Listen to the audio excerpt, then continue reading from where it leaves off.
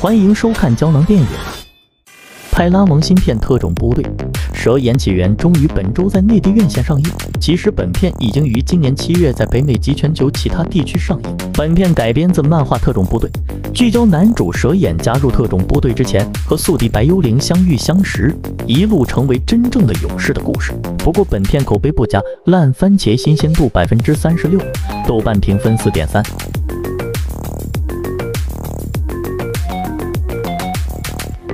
其实特种部队系列在国外口碑一直不佳，但是票房还算不错。二零零九年上映的特种部队：眼镜蛇的崛起口碑也是两极分化，烂番茄新鲜度百分之三十三，豆瓣评分七点三。本片当年创下了三亿美元的全球票房。二零一三年，派拉蒙拍了一部续集《特种部队：全面反击》，虽然有巨石强森和布鲁斯威利斯加盟主演，但是影片口碑继续下滑。烂番茄新鲜度百分之二十九，豆瓣评分六点六。不过最后全球票房还算不错，高达三点七五亿美元。但是派拉蒙之后一直没有趁热打铁拍续集，直到这部特种部队：蛇眼起源，距离上一部已经时隔八年之久。